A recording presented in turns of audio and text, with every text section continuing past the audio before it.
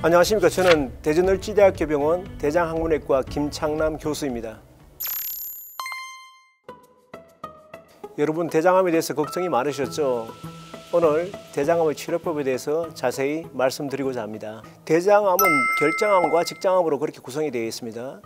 암은 연기부터 사기까지 암이 있는데 2기 중에서 2기 초반부에 속하는 암까지는 그냥 수술 절제로서 수술 어, 치료가 끝납니다. 하지만 2기 후반부부터는 어, 수술하고 난 다음에 항암 치료를 하는 경우가 많습니다. 그리고 직장암인 경우에는 방사선 치료를 하는 경우도 많습니다. 대장암은 주로 전이가 가는 장소가 간이나 폐로 주로 전이를 가는데 만약에 어떤 절제할 수 있는 정도의 어떤 그런 숫자나 크기면은 동반 절제를 하는 경우도 있습니다. 하지만 전이가 있는 그런 암의 수가 많거나 그리고 너무 크거나 이런 경우에는 먼저 항암 화학요법을 시행하고 난 뒤에 암의 크기를 줄이거나 절제 가능한 정도의 숫자가 되었을 때 나중에 수술을 할 수가 있겠습니다.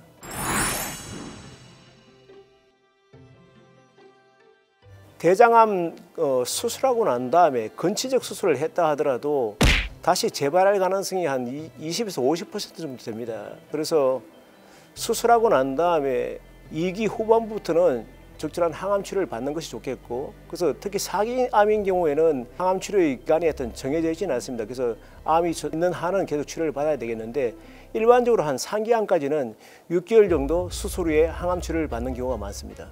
대장 자체에 국한된 암인 경우에는 5년 생존율이 한 93% 정도 되고 그리고 국소암 그러니까 암이 있으면서 그 주위로 암이 퍼져 있는 경우에는 5년 생존율이 한 80, 한 2% 정도. 원격 전이가 있는 사기암인 경우에는 5년 생존율이 20%밖에 되지 않습니다. 그래서 무엇보다 중요한 것은 뭐 대장 내시경 검사를 통해서 조기 진단하는 것이 중요하겠고 또 수술을 받은 환자는 적절하게 항암 치료를 받는 것이 중요하겠습니다.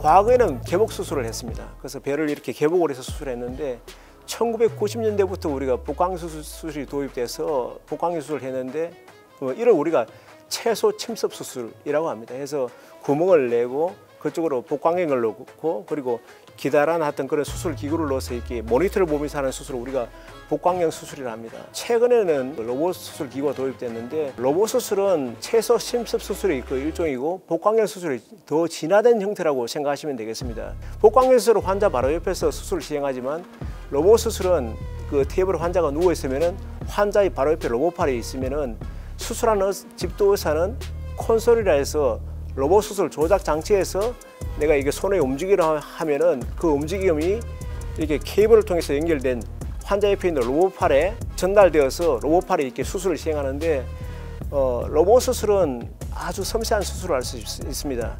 복광경 수술과 로봇 수술의 그 차이점은 똑같은 같은 그 채소 침습 수술이기 때문에 수술 자체가 다 성공적으로 되었다면 특별히 회복하는 거나 흉터나 이런 쪽에서는 특별한 차이는 없습니다. 하지만 복광경 수술은 우리가 수술할 때 수술 기구 자체가 사도 자유도 이게 넣었다 뺐다 좌우 상하 그리고 상하 회전 이렇게 사도 자유도를 하면은 로봇 수술 기구는 손목 관절이 있어서 사도 자유에다가 이렇게 손목 관절이 상하, 좌우, 회전에 하여튼 3도 자유도를 추가해서 총 7도 자유도를 구현할 수 있습니다. 그 로봇은 이렇게 수술 기구 자체에 더 사람 손과 같이 정밀한 움직임이 가능한 장점이 있고요.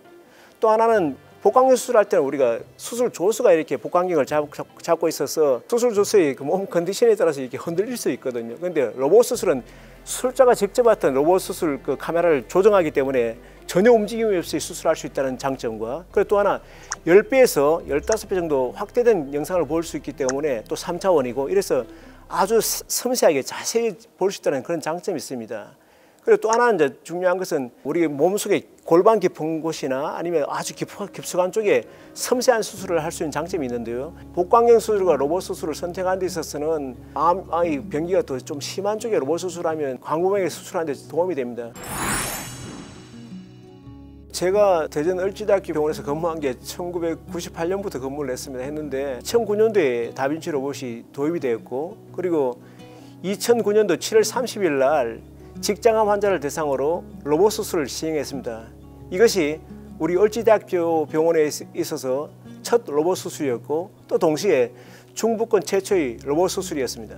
제가 이때까지 수술 시행한 것은 한 270년 정도 수술을 시행했고 대한대장학문학회 복광경 대장 수술 연구회가 발족됐는데 제 6대 회장으로 취임하면서 우리 병원에서 직장암 환자를 대상으로 어, 다빈치 로봇 수술 수술 시연을 시행했습니다. 봄스콜에서 그래서 하여튼 복광경 수술과 로봇 수술의 전문가를 모시고 저희 수술 모습을 보여주고 그리고 또 서로 토론하면서 어, 지식의 장을 넓히는데 어, 서로 큰 도움이 됐던 것이 많은 기억이 납니다.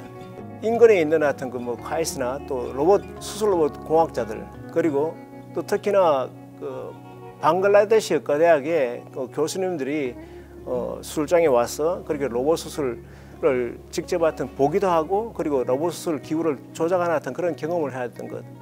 이는 하여튼 서로 교육을 하는 것과 동시에 그리고 서로의 지식을 교환하는 그런 하여튼 중요한 하여튼 그런 경험이었습니다.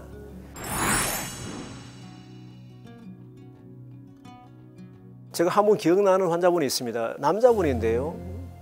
한, 한 40대 유전성 비용종증 대장암 환자였습니다. 그래서 상인결장암이 있었는데 유전성 비용종증 대장암 환자는 남아있는 대장에서 어떤 또 암이 생길 수 있기 때문에 결장 전체를 다 절제하고 소장과 직장을 연결하는 그런 수술을 했습니다.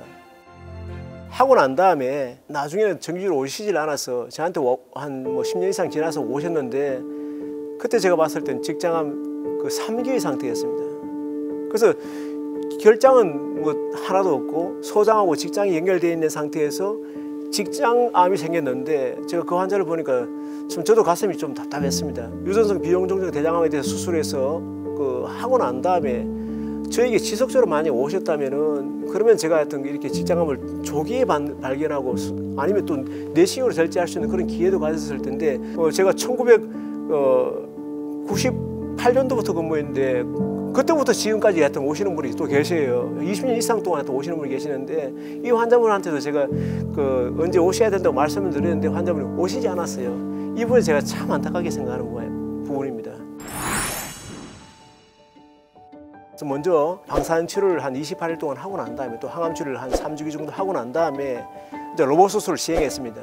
근데 직장이 남아 있는 것이 한 15cm에서 17cm 정도 직장이 이제 남아 있는데 거기에 이제 중간에 이제 직장암이 생겨 있으니까 어, 수술 자체가 상당히 힘들었습니다. 먼저 고민할 게 뭔가 하면 이러면 하여튼 직장 자체를 다 없애고 연구 장르를 만들어야 될지 여기에 대해서 고민을 했는데 그 환자는 제가 로봇 수술이 아주 섬세하기 때문에 방사선 치료하고 난 다음에 암의 위쪽의 일부 직장을 남기고 또 그리고 암의 아래쪽 일부 직장을 남기고 암은 그 뿌리 되는 부위까지 쭉 방내에서 어떤 의심되는 림포질을 절제하고 난 다음에 직장과 직장을 연결하는 수술을 로봇 수술로 성공적으로 했습니다. 그리고 일시간 회장루 조성술을 했고요.